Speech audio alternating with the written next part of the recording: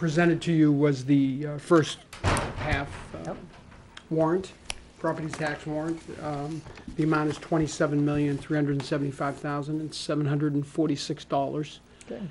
It represents about a eight-tenth of a percent increase in taxable value this year. Um, As of course you know, April first is a cutoff date, so there's a lot of development out there that's under construction as of April first, a lot more value to be picked up. But again, that would take place uh, for next April first. So that's where we're at for this year. Uh, Those numbers may change slightly with the continued field work that we're doing this summer, uh, permit review, uh, smaller items m- may change a little bit, but it won't be drastic uh, until next April. So just if you have any questions, and just looking for an approval and uh, signing of the warrant, so I can give that to the tax collector. Mary Louise? Are we sending a bill to the state? No bill to the state. Oh, that's too bad. Regina?